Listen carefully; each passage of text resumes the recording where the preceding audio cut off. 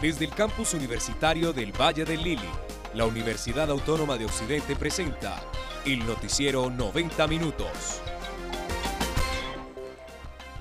Informe especial, hoy en 90. Aunque las autoridades de salud del municipio no lo confirman aún, la situación de salubridad en el lugar donde cientos de venezolanos migrantes se asentaron cerca a la terminal de transportes de Cali se complica. Hay quienes aseguran que ya hay enfermedades infectocontagiosas en el lugar.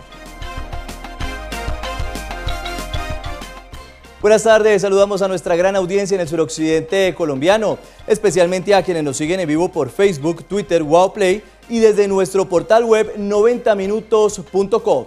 Desde este momento nuestras redes sociales están disponibles para que nos diga qué deben hacer las autoridades locales con la situación de los venezolanos en Cali.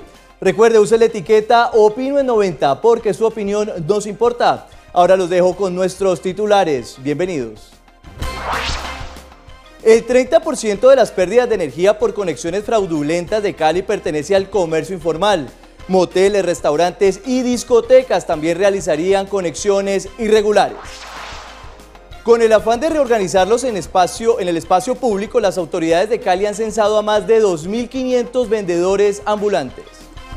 Habitantes del corregimiento de Mapachico, uno de los afectados por el sismo del 12 de junio, realizan sus propias actividades para recoger fondos que les permitan recuperar lo que perdieron.